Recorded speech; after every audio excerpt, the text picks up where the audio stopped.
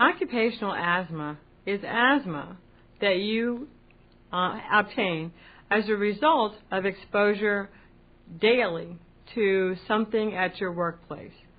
Some of the professions that more commonly have occupational asthma are bakers, farmers, and believe it or not, hairdressers.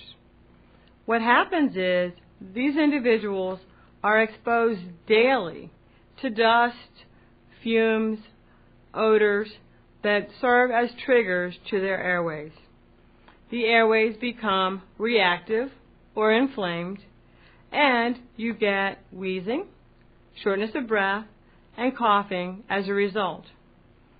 The only treatment cure for occupational asthma is to change occupations.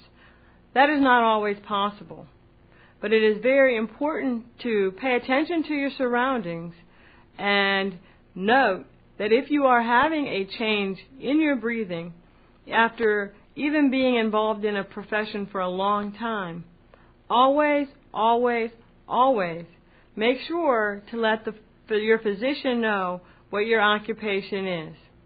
There are even many um, odors or fragrances in your occupation that you may not think about, but when you discuss them with your physician, may help the physician ask you questions which will either help you change the place where you work or help you identify what the trigger is and see if it can be avoided.